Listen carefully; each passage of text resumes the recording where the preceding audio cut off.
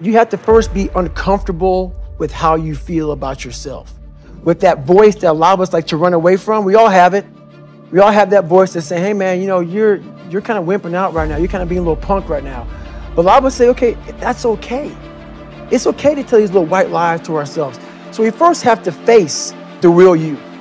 The real me is David Goggins. The real me is a guy looking at you right now saying, I don't want to be on this show right now because I used to stutter as a kid. And I'm afraid of that. Goggins saying, all of you who don't like me, who don't want to, and that person then comes in. But you have to be David Goggins and say, man, I'm afraid of this. Life made me this way here.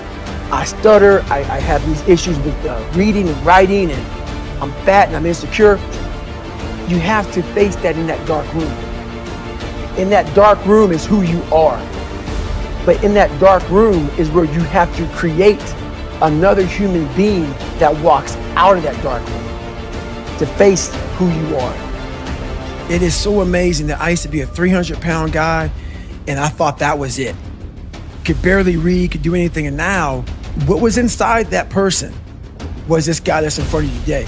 That's how scary the mind is.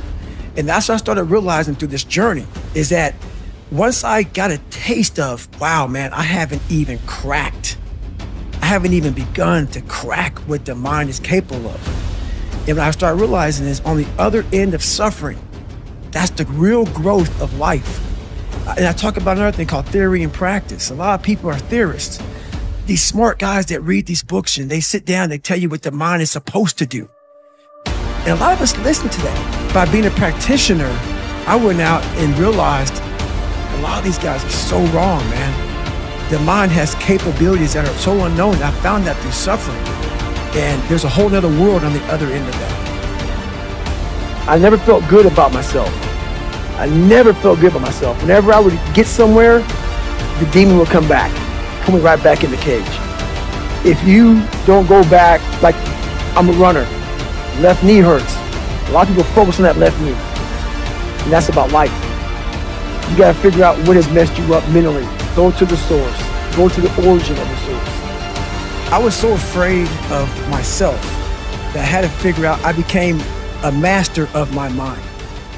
When you're afraid of something, you have to master it. That's how you start to overcome it. So what I realized when I get to that point where I want to quit everybody, they get to the point where they want to quit. This is what happens.